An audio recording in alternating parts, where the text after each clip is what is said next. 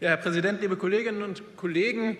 Wir diskutieren ja heute nicht das erste Mal über die Frage Glasfaser oder Kupfer. Und äh, Kollege Lammler, auch wenn Sie da eben meinten, dass Sie eine ganz einfache, eine ganz klare Antwort äh, auf so ziemlich alle Fragen des Lebens, des Universums und den ganzen Rest haben, äh, muss man, ja, das ist 42, dann brauchen Sie aber jetzt noch einen Rechner, um das nachzurechnen, warum das so ist.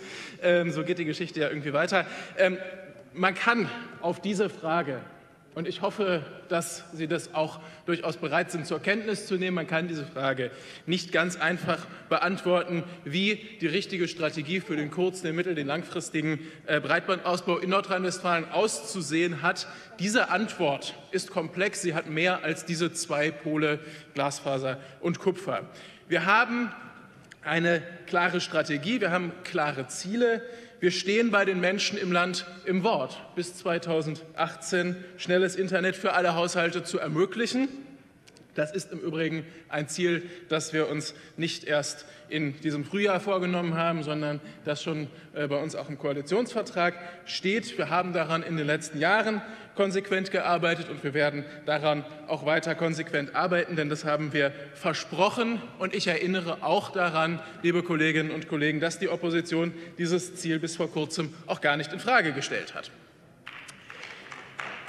Ich habe zu dieser Debatte immer gesagt, wir sollten nicht das eine Ziel, klare, dass keine Region bei der Versorgung mit schnellem Internet zurückgelassen wird, gegen das andere Ziel, eine möglichst nachhaltige Infrastruktur aufzubauen, ausspielen sondern wir müssen immer schauen, wo welche Lösung sinnvoll ist. Deshalb ist es ja der richtige Ansatz, dann zu sagen, wir schauen vor Ort, wir unterstützen die Kommunen dabei, ein Ausbaukonzept genau für ihre Anforderungen zu entwickeln. Das ist auch erfolgversprechender, das haben wir nicht zuletzt beim runden Tisch auch so diskutiert, das ist erfolgversprechender, als sich einfach mit einer großen weißen Landkarte hinzusetzen und einfach mal drauf loszuplanen.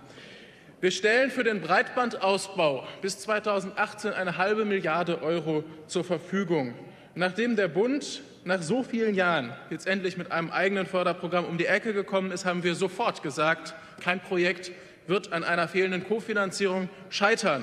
Und wir haben auch schon, und wir haben auch schon lange vor der Frequenzauktion zugesagt, wir stecken unseren Anteil aus der digitalen Dividende vollständig in den Breitbandausbau. Und dabei gehen wir so vor, wie ich das gerade skizziert habe, Versorgung der Gewerbegebiete vorrangig durch Glasfaser im ländlichen Raum äh, bei den Haushalten, auch durchaus technologieneutral an den Stellen, wo, sich das, wo das sinnvoll ist, weil wir natürlich bei den Haushalten einen anderen Bedarf haben. Da geht es vor allem um Downstream, während wir in den Gewerbegebieten dann auch stark symmetrischen Bedarf haben und diese Bedarfe dann decken müssen. Wir haben eine erhebliche Unterstützung für die Kommunen mit 9 Millionen Euro. Kommunen werden unterstützt beim administrativen Infrastrukturaufbau, zum Beispiel auch für die Anstellung von Breitbandbeauftragten, die Durchführung der Ist-Analysen und auch die Erarbeitung von NGA-Entwicklungsplänen. Das ist dann gut für die Bürgerinnen und Bürger in NRW und auch ganz besonders für die Betriebe im ländlichen Raum.